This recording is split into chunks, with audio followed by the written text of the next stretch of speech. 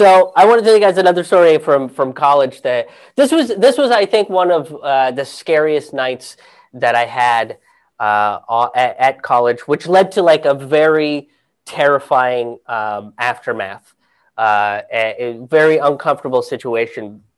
When I was a, a sophomore in college, uh, I roomed with this kid named Chris, and we were going to get a suite. Right, we were going to we, we were going to upgrade from just a regular dorm to a suite because we were we were badass sophomores now. Uh, and so we put in for our suite, and we had like our other roommates picked out, uh, and, and you know, so there was there was uh, uh, five of us that uh, that wanted to live together. And about a month before our uh, our, our semester started, uh, the other three were like, "Hey, um, it turns out that we are rich, and our parents are going to purchase an apartment for us. Uh, and I was like, I don't think you buy an apartment, but I think that's what you're saying. and so then, you know, me and Chris had this conversation where we were like, what are we going to do? And at the, it, it turned out that we, we were going to live in the dorm rooms. We were going to live in the suite. And the school was like, well, we're going to give you like random roommates. Like it's too late for you to like pick anybody else. So we're just going to kind of give you people that we think are going to work out. And if it doesn't work out, we'll we'll adjust as the year goes on. We're like, whatever, that's fine. So we just basically kept to ourselves, right? So our room was basically like we decorated our little room. And on day one, we met our, our roommates who were these Pakistani international students that had just come to the States. And they like, I don't think they really knew a whole lot of English. Like I met them for the first day and I was like, hey, I'm Krish, how's it going? And they were like, hello and I was like, "So you guys excited to to start school?" And they were like, "Hello," uh, and I was, so I feel like there was like a big language barrier uh, there. So so for for a little while, like we just didn't have a fifth roommate, right? Like we had uh, a third room, like a very small third room, and no one occupied it. Uh, and you know, we like, but the brothers kept themselves, we kept ourselves. So our living room was kind of barren. Like we really didn't have anything in the living room. I think they set a TV, like one of those fucking like tube televisions out there. That I, I don't know if they ever hooked it up or, or not. Like nobody really fucking used it. It was just kind of this empty living room. Uh, and then I found out uh, that Julian was going to move in. And Julian was the fucking coolest. Like he was the coolest kid on campus, right? Like I remembered him my freshman year because he would always show up to the dances and then like he was like this awesome dancer and like he wasn't even like tall. He was just this short like Jamaican black dude from Jersey that like kind of knew how to dance, but he very well. And like all the ladies wanted him and like all the dudes wanted him, right? Like everybody wanted to fuck this kid. Hmm. Uh, I was like, this guy's the best. Look at him dance. There's so many women around him, and there's like no women around me. so I feel like if Julian's going to move in, that's going to mean that there's more women that'll show up to my room, and that's cool. So I was very excited about Julian to move in, so uh, this is this is you know he he moves in uh, around this time, around early October, right? And around November-ish, couple weeks after he moves in, I you know it's it's the middle of the semester. That you know things that there's more assignments, things are kind of getting crazy.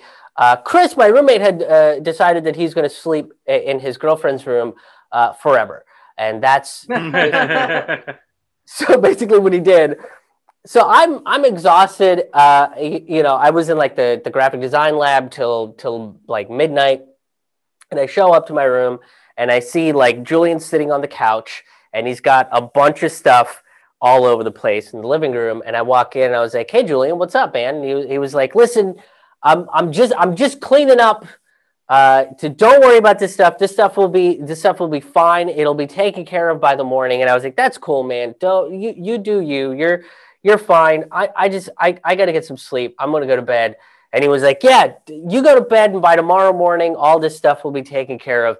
And I was like, that's great. You, you, you have a good night. And I, and I went to bed and, you know, about an hour later, I hear a knock on my door.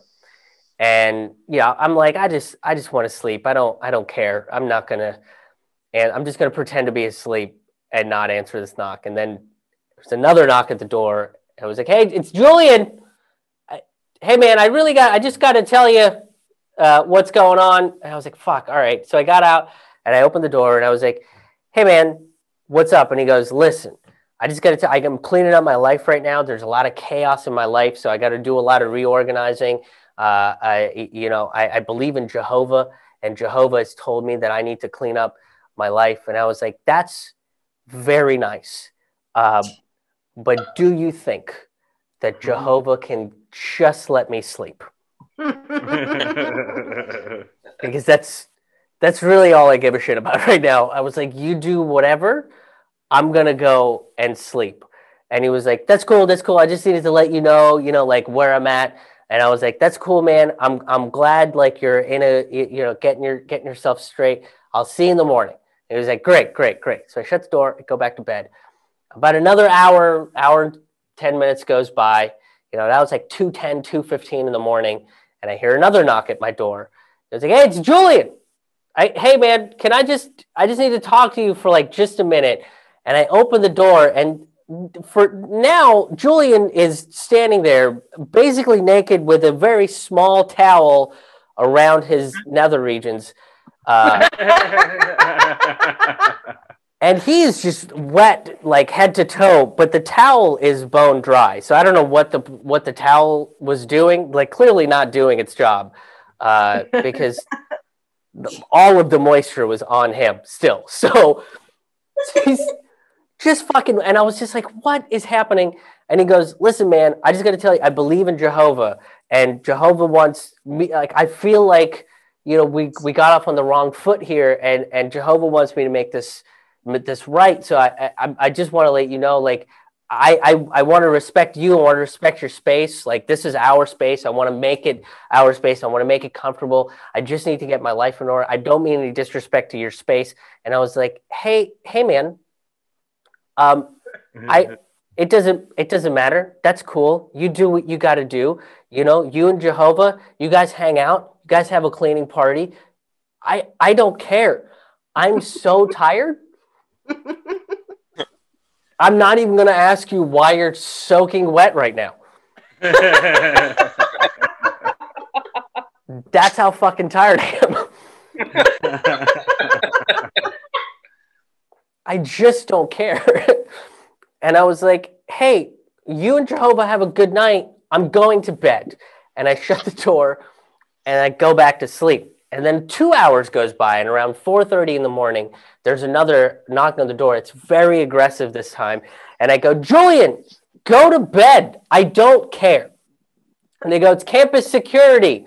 I go, fuck. So I jump down and I open the door and I go, what's up, man? And he goes, where's Julian?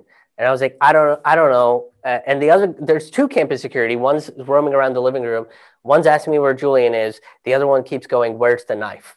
Right? They go, Where's the knife? Where's Julian? Where's the knife? And I was like, I don't know where either of those things are. Mm-hmm. We are not supposed to own knives on campus. That's like not allowed. Uh, I have a butter knife in my room, but it it is plastic, and I can guarantee you, that thing can't even skin an apple. So it's it's it's kind of decorative at this point, right? So the campus, like campus security is freaking out. And, and I was just like, dude, I don't know. He was cleaning up some stuff. And the, the last time I saw him was like around like 215, 230, something like, something like that. And they were like, you don't know where he went. And I was like, no, I have been, do you understand what time it is right now? Like most, most mammals are sleeping right now at this hour. Like that's what most North American animals are doing right now. So you should you should probably just let me do that. And they were like, well, if, if you happen to if you happen to find Julian or if you happen to find the knife, I was like, I don't even know where to begin with the knife situation. Uh, I'm so tired that I'm not even going to ask you about it. And then I shut the door, and for some reason I locked it, like that was going to prevent people from knocking on the door. And I went to bed.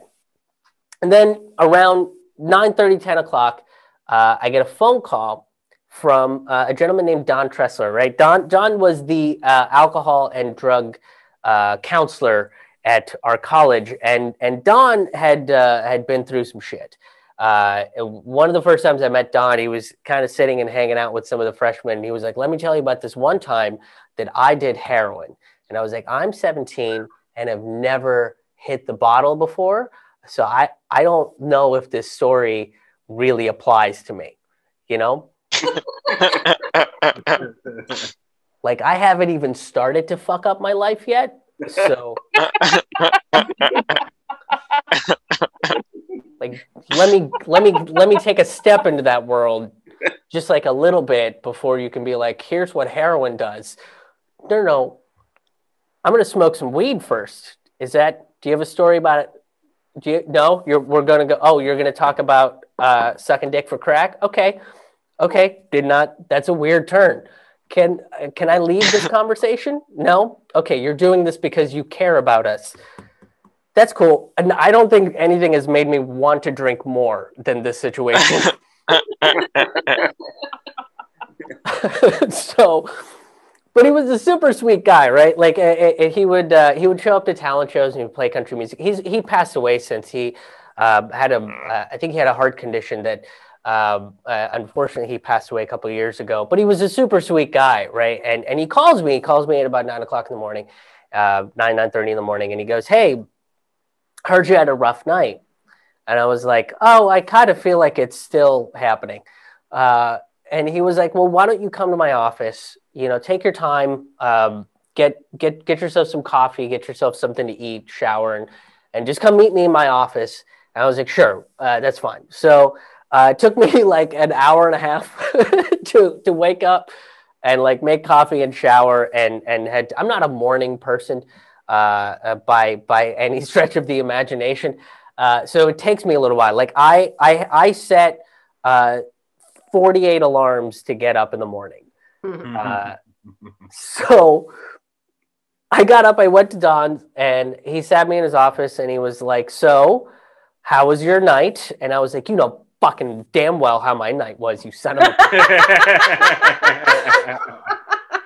How dare you sit in your office, look at me in my eyes, my very exhausted, bloodshot eyes, and ask me that question? And he goes, Well, uh, he was like, So what happened with Julian? And I was like, Well, he kept talking about Jehovah. He kept talking about cleaning and getting his life straight and like reorganizing and doing all this stuff. And he was like, And? And I was like, I didn't care. I just wanted to go to bed. I just I just need sleep. That's all I want. I've I like I've had this big long project. I've been up for like all day, and I'm just so tired. And he was like, "Yeah, yeah, uh, I totally get that." And he was like, "Look, uh, here's what's going on with Julian, and you need to know because you're you're uh, you know you're one of his roommates. You experienced this, uh, you know, head on, and maybe you can explain this to." Uh, your other uh, international student roommates because clearly there's a uh, a language barrier there. So I went. So he sat down and he said, "Julian is was schizophrenic and has not been taking his medication." Uh, and that has spiraled him to think that he is talking to people that aren't there. Um, and unfortunately, that has manifested in uh, whoever he believes Jehovah is. I'm not sure who that is. And he goes, I don't believe that you're in danger. And I was like, great. So what's this about a knife? And we're like, we don't know. Uh, all we know is that he was in contact with some folks and then he stopped texting them and we're not sure where he is. He's like, why don't you just go back to the room? I don't think you're in danger. I don't think he, we're more concerned about him at this point than, than you. And I was like, look, man, I don't think I'm in danger either. I just want to go to sleep. And he's like, Yes, and you should, because we've contacted all your teachers and told them that you had a rough night and you are excused from all of your classes for tonight and also tomorrow. And I was like, Fuck yeah, you're the man, dude. You're the man. That's awesome. and I was like, I'm going to leave before you get into a really intense uh, Trainspotting story about heroin. Uh, because I'm not like in a, a mental headspace to handle that shit right now. and he was like, yeah, go get some sleep. So I went back, passed out, right? Uh, and I didn't see Julian for a while. I, I we I didn't see Julian for for a couple months. When I did see him was around April, right before um, right before I think it was Easter break. Maybe I always get these the spring and Easter break confused. Uh, but one of my friend's boyfriends was in town, and he was training to be in MMA and he knew that I, I would work out a lot. I would go to the gym and I would, you know, do do do like running and lifting and stuff like that. So he was like, "Oh, why don't why don't we work out together?" And when someone training to be an MMA fighter says, "Hey, we should work out together," uh, the correct response is, "You can go fuck yourself." um,